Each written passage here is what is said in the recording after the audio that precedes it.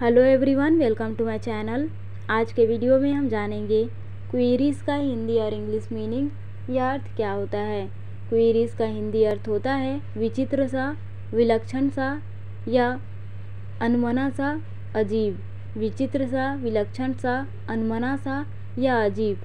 वहीं इसका English meaning होता है स्ट्रेंज अनयूजल और नॉट एक्सपेक्टेड स्ट्रेंज अनयूजल और नॉट एक्सपेक्टेड एक एग्ज़ाम्पल से समझते हैं इसे. For example I still feel queries यहाँ क्वेरीज का अर्थ है अजीब. उदाहरण, मुझे अब भी अजीब लगता है. और इसी के साथ आज के वीडियो में बस इतना ही. Thank you so much for watching my videos